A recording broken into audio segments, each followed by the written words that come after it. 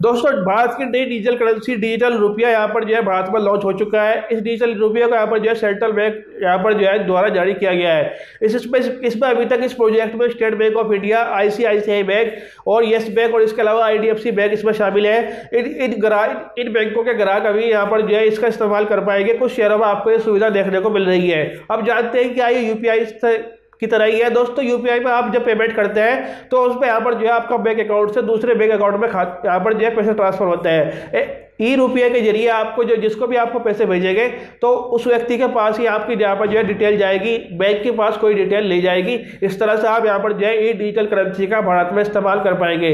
जैसा आपको यहाँ पर जो है ऑफलाइन अपने पर्स में पैसों का इस्तेमाल करते हैं, दस बीस रुपये या पचास रुपये आप किसी को भी दे देते हैं तो उस व्यक्ति तक ही आपको पता रहता है। उसके अलावा बैंक को पता नहीं रहता किसने किसको क्या दिया। लेकिन अगर आप यूपीआई का इस्तेमाल करते हैं तो बैंक को पता रहता है, बैंक टू बैंक ट्रांसफ़र होता है। और अगर आप किसी व्यक्ति को देते हैं तो यहाँ पर आपको डिजिटल ई करेंसी का इस्तेमाल आप इस तरह से कर पाएँगे। दोस्तों ऐसी और वीडियो से जुड़े रहने के लिए चैनल को सब्सक्राइब कर लें। वीडियो पसंद आई तो लाइक ज़रूर करें और अगर कोई सवाल है तो कमेंट करके बताइए। दोस्तों